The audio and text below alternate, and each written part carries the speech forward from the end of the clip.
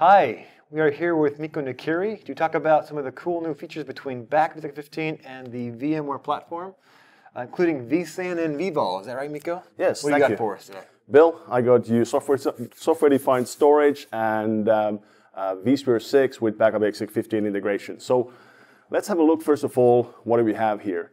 So vSphere 6 is the latest release by VMware, and with that, VMware introduced a couple of new things on the software-defined storage side, uh, something called VMware Virtual SAN, and also VMware Virtual Volumes.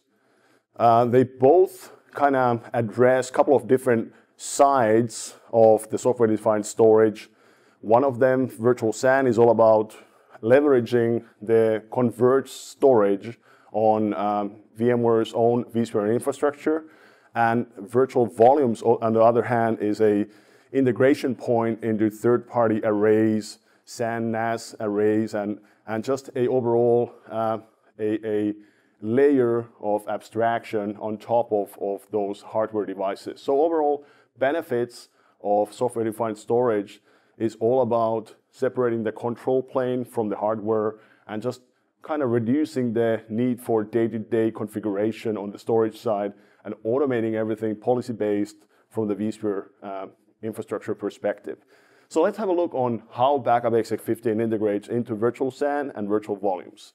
So here in the middle, I have the Backup Exec server, Backup Exec 15, and I can see that I have my storage here. You can use tape, disk, or cloud storage for that.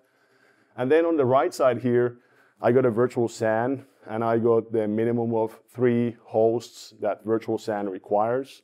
And then I have my couple of virtual machines here on the vSAN data store.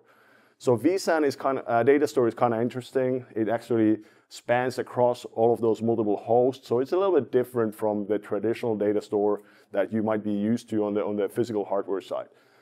The benefits really on, on vSAN side is, is all about just being able to leverage your direct attached storage on your host side.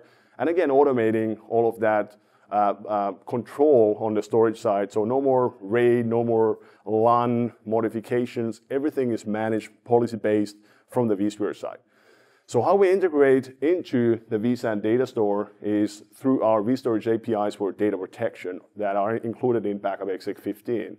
And with that, we can actually connect directly to the vSAN data store and request for the vStorage APIs to provide us snapshots of the virtual machines directly from the data store.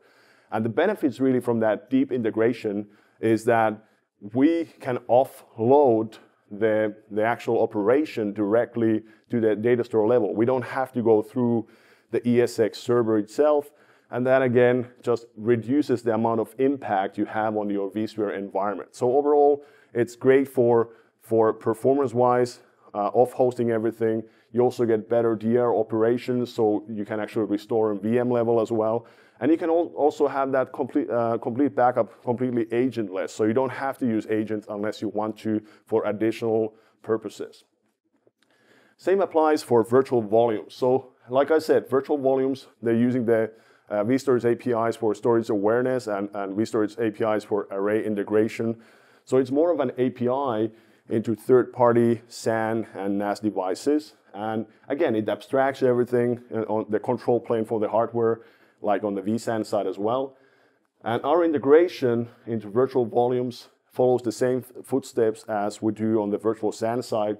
So again, we request a uh, virtual machine snapshot directly from the virtual volumes.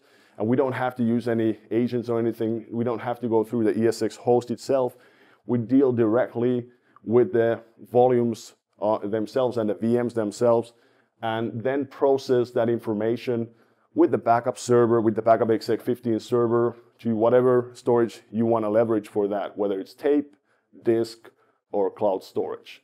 So that is a nutshell is how we integrate with virtual volumes and virtual SAN with vSphere 6 with Backup Exec 15.